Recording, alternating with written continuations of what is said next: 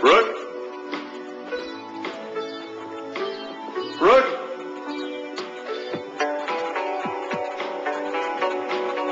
No wonder it's so quiet. I wake up aching for your tender touches in the night. Lorca, That you be my friend, my salvation, my confidant, my lover. I've asked much of you and you've never let me down. I have one more favor to ask. Will you do me the honor of becoming my wife? Yes, with my full heart, yes.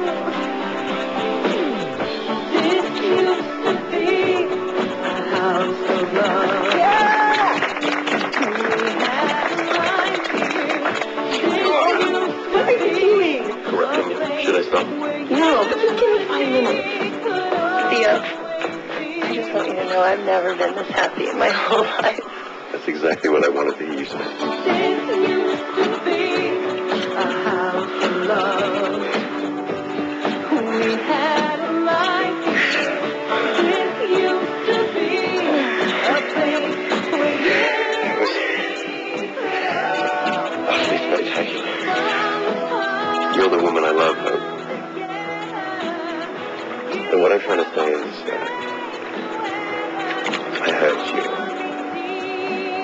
For that, I'm truly sorry.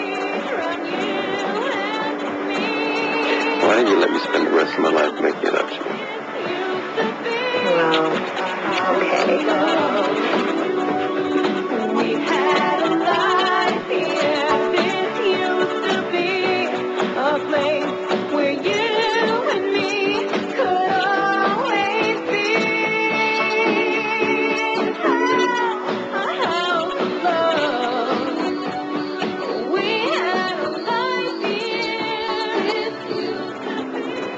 So I found who I was looking for.